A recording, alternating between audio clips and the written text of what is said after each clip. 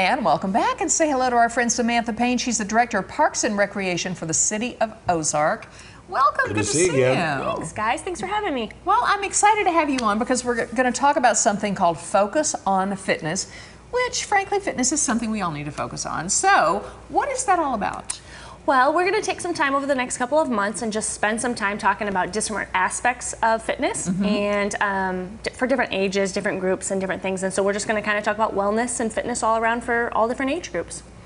So what is the goal? To make us better or to make a lifestyle change or what's the goal Probably here? both. I would say both. Um, Yeah. Everybody's at a different place in life, and so um, we kind of just get to pick. Maybe it's getting started. Maybe it's switching to do something else. Maybe you want to do a triathlon. Maybe you want to train for something else. So we're just going to focus on all different aspects of um, fitness, wellness, eating, yoga, stretching, just kind of just being a healthy person. Yeah, in the Ozark Community Center, you can learn a lot there, and then you can you can get involved with lots of things there. Talk a little bit about what all you have to offer.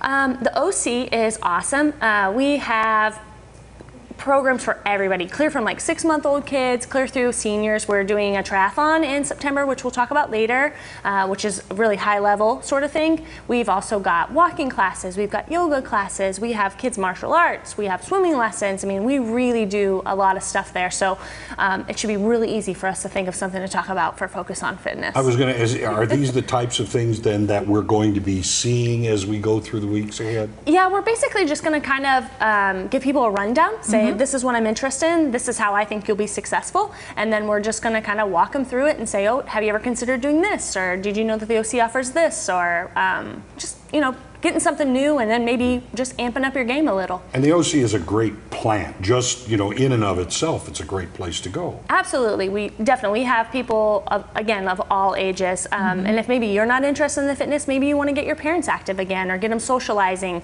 Um, there's a lot of parts to it that kind of work together, and so it'll. Um, we're kind of just going to sort of talk about that for the next little bit. Yeah, and you, you mentioned triathlon. You're you're going to be doing that, right? The triathlon.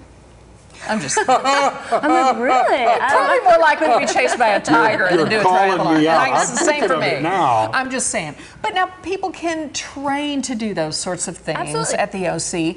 But then again, don't panic and think, "Oh, I'm not a triathlete," because look. Very few people are. Sure. But little incremental changes that you can make along the way can make you a healthier person from now until, I mean, for the rest of your life in terms of balance and core strength and things like that. Don't you Mm-hmm. Absolutely. agree that there are little things that we can do to make us better? Oh, absolutely. I mean, eating, um, just watching the way that your movement patterns are. You know, when you step down, when you bend over, when you go to pick something up, all of those things we can kind of talk about that will make you just a healthier, more rounded person. And then also, port, you know, give that to your family too, raising your kids and making them healthier, Yeah. making, learn, teaching them how to make the right choices and stuff. So it'll make, it'll be good. Well, we look It forward to having you on the show some Yeah, more. it This doesn't will have to be an official triathlon. You can make your own triathlon. Absolutely. I mean, you know. Pick three exactly. and work on it. Walk a little, walk a little more, walk a little more. You're good to go. All right, Samantha Payne, thank you. Hey, it's thank good you talking guys. to you. I'm Look excited. Doing this again. Yes, yeah. thank you. All right, up next, we get to focus on those who are in need with Jamie Ivy from Women in Need. Yep, stick around because we'll be back before you know it.